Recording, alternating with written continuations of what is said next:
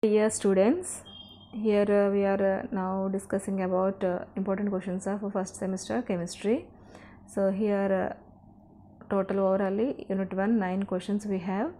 What we have tick or star mark here uh, frequently and uh, repeatedly asking questions very very important. See here uh, fifth and sixth question is asking one question oxyacids or oxides. So maximum one of the question from 2 okay?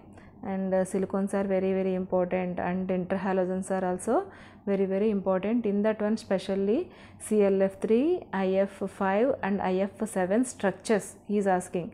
And sometimes pseudohalogens uh, also he is asking.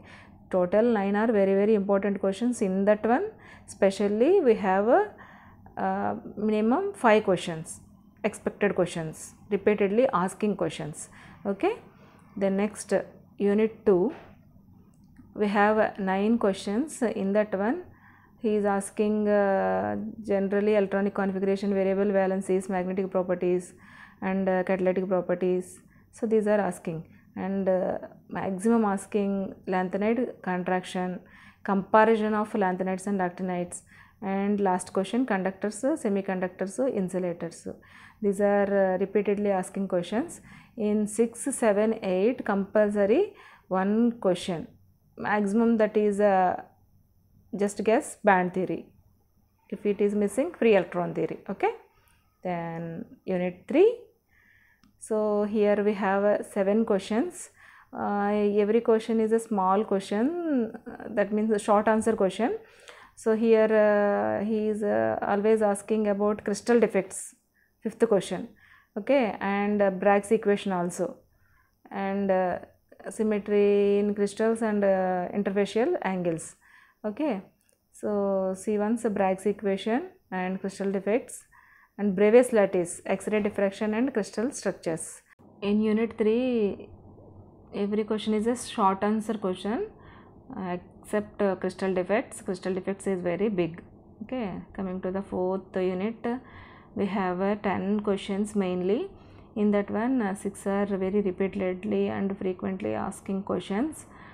So andrews isotherm joule thomson effect and uh, critical constant of gas uh, liquid crystals uh, and their types and uses. Cp minus cv is equal to r. The next relationship between critical constants and van der Waal constants. See once uh, here uh, six questions are very very important. Okay. Then next uh, fifth unit is in fifth unit uh, we have orally 11 questions. In this 11 questions uh, we have uh, seven questions very very importantly asking questions and exactly cst and Nernst uh, distribution law osmotic pressure quite frequently asking questions okay?